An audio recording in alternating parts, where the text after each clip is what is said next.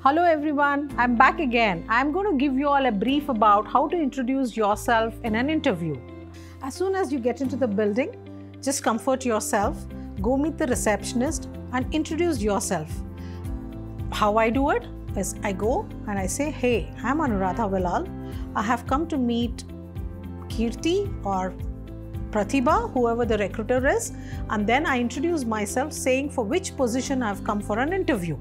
The recruiter would come down and meet up with you and then introduce yourself if you have not met the recruiter earlier or if you have already spoken to the recruiter then it becomes a lot more easier for you to introduce yourself. And then you would have put a face to the person that you have been talking to connect with that person and then walk along with him to the interview place. Again settle down yourself for the interviewer to come.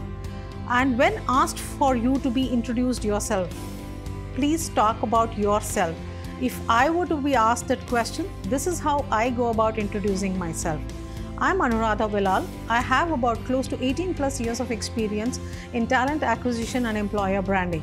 I have worked for about multinational companies, many multinational companies, with about, you know, having to hire about 1000 plus people across the industry and across domains.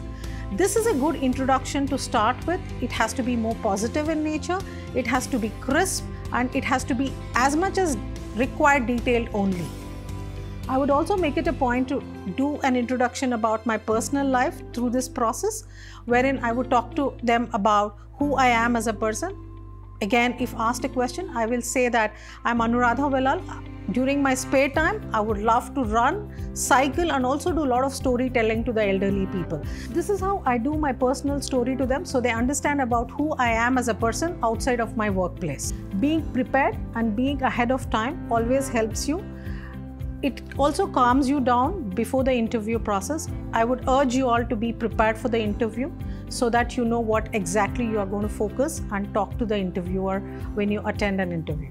If you like the video, please comment, subscribe and share it with your friends.